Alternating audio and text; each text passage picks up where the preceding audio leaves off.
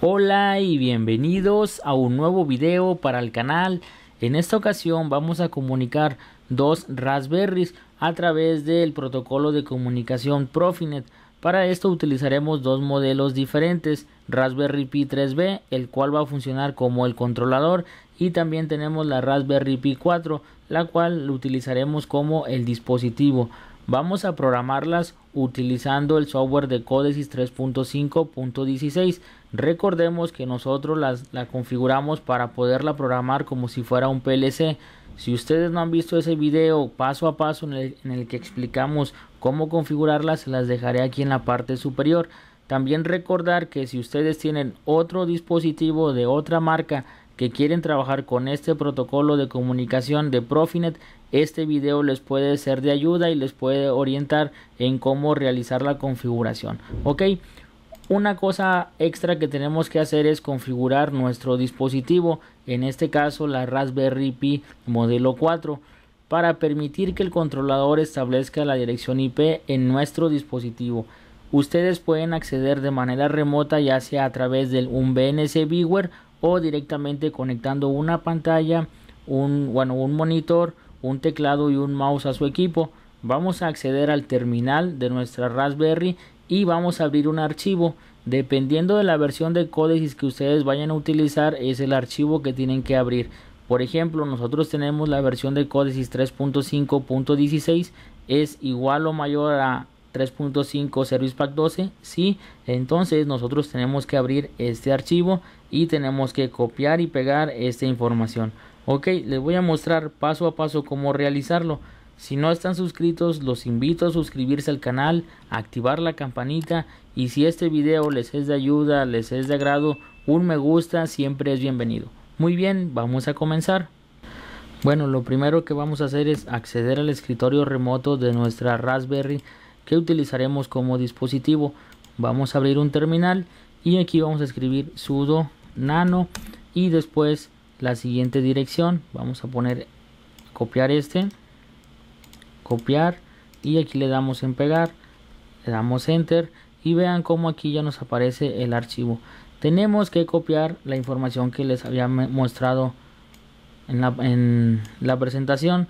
Vamos a copiar esta información y la vamos a pegar aquí importante de aquí yo estoy poniendo el nombre de la, del adaptador ETH0 porque así me aparece a mí ahorita les voy a mostrar si a ustedes les aparece otro número lo tienen que actualizar. Por lo pronto así lo vamos a dejar. Tenemos que poner aquí control X. Nos dice que si queremos guardar el archivo modificado escribimos la S. Y por último presionamos el botón de enter. De esta manera ya se actualizó nuestro archivo. Ahora si vamos a salir y salimos de aquí. Cerramos minimizamos esto y también minimizamos. Ahora sí vamos a abrir dos instancias de códices. Recordemos que una va a ser para el controlador y otra para el dispositivo. Vamos a comenzar a hacer el dispositivo. Le damos nuevo proyecto un proyecto estándar. Aquí le vamos a poner profinet-device y ustedes pueden seleccionar una carpeta en donde quieran guardarlo. Yo lo voy a guardar en la carpeta práctica 149 le damos en aceptar. Aquí vamos a elegir el dispositivo Codesys Control for Raspberry Pi SL ahora lo primero que tenemos que hacer es conectarnos a nuestra Raspberry. Vamos a establecer la comunicación. Le damos doble clic aquí en device examinar red y a mí me aparecen dos Raspberries. Yo voy a, a, programar la C8 la que termina en C8 como dispositivo. Le voy a dar aquí en aceptar y también aquí en ajustes del PLC vamos a poner actualizar siempre las variables activado 2 le damos aquí que sí. Y ahora sí vamos a darle clic aquí a device clic derecho agregar el dispositivo. Yo le recomiendo tener esta casilla palomeada. Le damos aquí en buses de campo adaptador de ethernet. Vamos a utilizar este 3.5.16 les recomiendo que siempre o traten de, de, poner los adaptadores, los dispositivos que correspondan a su versión que están utilizando de Codesys. Le ponemos aquí agregar el dispositivo, presionamos de nuevo el dispositivo que se agregó, vamos aquí a Profinet, recordemos que aquí vamos a poner el device entonces este va a ser dispositivo lo hacemos hacia abajo y aquí vamos a seleccionar el modelo 3.5.16 le damos doble clic y ahora aquí le damos clic y aquí nos aparece que queremos compartir ya sea entradas o salidas. Vamos a nosotros a poner una salida de 8 bits. Después también vamos a poner una salida sin signo de 32 por 8 después entrada de 8 bits y entrada sin signo de 32 por 8 ok aquí es importante más adelante lo vamos a ver pero las salidas que nosotros coloquemos aquí como salidas en realidad vienen siendo entradas. Si nos vamos aquí vean como aquí aunque se llame salida aquí la dirección es por ciento i de input. Y las que aparecen como entradas en realidad aquí aparecen se direccionan en salidas por ciento q de output. Esto es debido a que quien toma el control es el controlador ahorita lo vamos a, interpretar de mejor manera. Ahora aquí le damos doble clic a ethernet le damos aquí en el botón y seleccionamos la IP de nuestra eh, Raspberry. Vean cómo aquí aparece el nombre de ETH0 si vamos aquí recordemos que nosotros hicimos una modificación. Vean cómo aquí en el nombre viene ETH0 y aquí en códices también nos aparece ETH0 ok. Entonces si a ustedes les aparece aquí ETH1 2 etcétera ustedes deben de modificar su archivo de la misma manera. Aquí le voy a dar en ok. Y ahora le damos doble clic aquí en Codesys Profinet. Nosotros vamos a utilizar parámetros del proyecto y aquí se llama pn de profinet-device vamos a dejar el nombre que aparece por default ok hasta aquí en teoría ya tendríamos configurada nuestra Raspberry Pi que va a funcionar como device. Ahora vamos al nuevo proyecto. Le damos aquí proyecto estándar le ponemos profinet guion bajo controller y seleccionamos igual la carpeta donde lo queremos guardar. Le damos en aceptar y aquí es Codesys Control for Raspberry Pi SL le damos a aceptar y de igual manera lo primero es establecer la comunicación con nuestra Raspberry le ponemos aquí en examinar red Recordemos que el C8 lo utilizamos para el device, entonces el D2 va a ser para nuestro controlador. Ahora aquí nos ponemos ajustes de PLC, actualizar siempre las variables, le ponemos activado 2. Queremos continuar, le ponemos que sí. Y ahora aquí le damos clic derecho, agregar el dispositivo.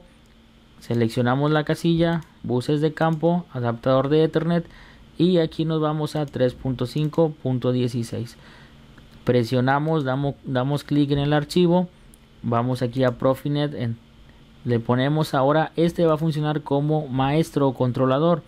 También presionamos aquí la versión 3.5.16.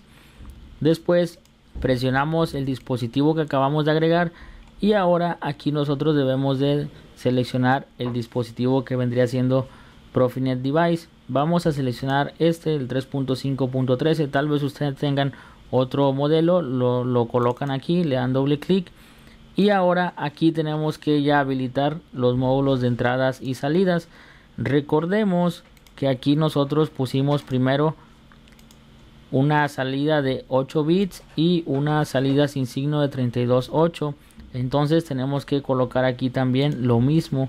Salida 8 bits y después salida sin signo de 32 por 8 después tenemos una entrada de 8 bits y una entrada sin signo de 32 por 8 entonces aquí ponemos una entrada de 8 bits y también entrada sin signo de 32 por 8 aquí le damos doble clic.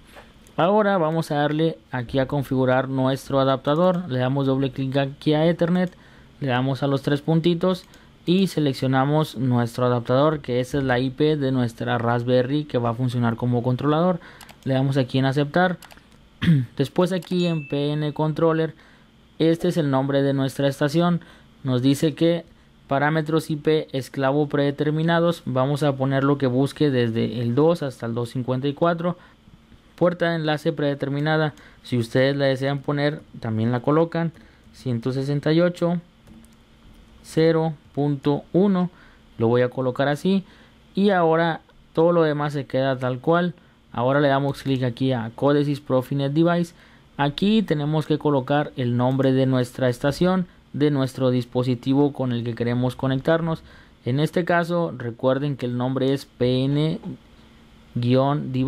lo podemos copiar y tenemos que colocarlo aquí. De hecho es el mismo pero nada más es el procedimiento en caso de que ustedes tengan un nombre distinto. Aquí tenemos que colocar la IP de nuestro dispositivo. Recuerden que aquí nosotros tenemos la IP que es 192.168.0.200 aquí nada más le ponemos 200 y también aquí la submáscara 255.255.255.0 es igual. Y la puerta de enlace es la que aparece aquí. Entonces aquí le ponemos 192 168 0.1 ok yo le recomiendo que aquí en factor de reducción vamos a poner aquí un 16 y en teoría hasta aquí ya todo estaría bien. Vamos a irnos en línea. Vamos a cargar nuestra aplicación en nuestro controlador. Aquí le ponemos en run. Y bueno ahorita por lo pronto está esto en verde esto en verde y esto no funciona. De hecho aquí dice que no existe un nombre como lo indicamos aquí ahora vamos a cargar nuestra aplicación de nuestro dispositivo. Aquí le damos que si queremos cargarlo y aquí le damos en run. Ok. En teoría aquí ya debería establecer la comunicación.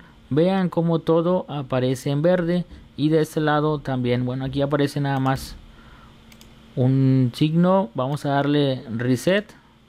Vamos para resetear le damos otra vez play a ver si se elimina ese mensaje esa advertencia y ya se eliminó en teoría aquí ya tenemos la comunicación. Ahora lo que vamos a hacer voy a presionar la tecla de windows y la flecha a la izquierda. Y ahora tecla windows flecha a la derecha y tenemos las dos pantallas los dos este, instancias de códices de nuestro controlador y nuestro dispositivo. Vamos a ir primero a las salidas de nuestro controlador. Vamos a ir aquí a la asignación de entradas y salidas. Vamos a abrir este. Y aquí vean cómo vamos a ir también aquí a las salidas de nuestro device. En realidad recordemos que son entradas aunque aquí diga salidas el software los configura como direcciones de entrada. Vamos a mover esto hacia acá un poco.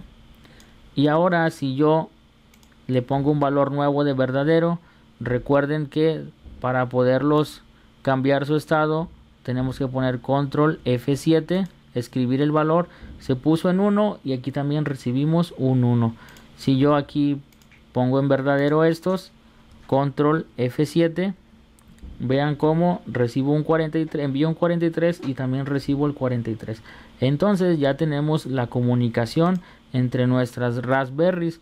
Ahora vamos a trabajar con las salidas que son la que decía 30, de, sin signo 32 por 8 vamos a desplegar esto.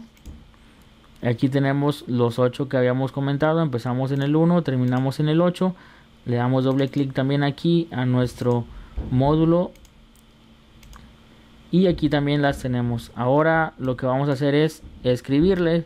Vamos a escribirle un 10 un 20, un 30, un 40, 50, 60, 70, 80 y vamos a poner control F7 o desde aquí forzamos los valores control F7 y vean cómo todos los valores también se mueven de nuestro controlador a nuestro dispositivo. Ahora qué pasa si yo por ejemplo me voy aquí a input yo me voy a input vamos a desplegarlo y si yo le quiero poner un valor aquí al que está declarado como input control F7 no hace ningún cambio. ¿por qué? porque quien controla esa señal es nuestro eh, nuestro equipo que funciona como device. Vamos a ir aquí ahora a input. Vean cómo la dirección es QX es una salida. Aunque aquí diga input la dirección es la importante es una salida. Yo aquí le voy a poner en valor nuevo verdadero. Le doy control F7 y vean cómo cambia el estado vamos a poner ahora en el bit número 7 le doy control F7 y también cambia de estado Entonces de esta manera el dispositivo le está escribiendo a nuestro controlador. Ahora vamos a ir a la última, al último módulo que viene siendo entrada sin signo de 32 por 8. También lo ponemos este. Vamos a abrirlo, lo desplegamos. También aquí lo desplegamos. Y aquí tenemos los 8 también. Vamos a poner aquí igual ahora 80, control F7 y vean cómo aquí recibimos el valor de 80 si yo pongo otro valor vamos a ponerle 199 control F7 y también lo recibimos en nuestro controlador. De esta manera pues ya mostramos cómo configurar nuestra Raspberry como controlador de Profinet y también cómo configurar la Raspberry como dispositivo de Profinet. Tal vez ustedes tengan otros equipos de otras marcas que quieran comunicarlas con una Raspberry entonces este podría ser un protocolo que podrían ustedes utilizar. Muy bien entonces esto sería todo de parte de este video. En caso de alguna duda la pueden dejar en los comentarios. Si no están suscritos los invito a suscribirse al canal activar la campanita y si este video les fue de ayuda les fue de utilidad un me gusta siempre es bienvenido. Muy bien muchas gracias y espero que estén muy bien